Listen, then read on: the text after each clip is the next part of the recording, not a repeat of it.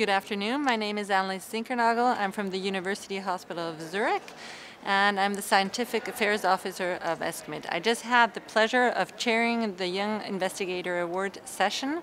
We, ha we handed over awards to three fantastic awardees and they spoke about antimicrobial resistance and the whole stewardship problems, about C. difficile and how you can detect and um, follow up on transmission rates, as well as one beautiful talk on how can we predict um, infections in post-transplant recipients. Many thanks.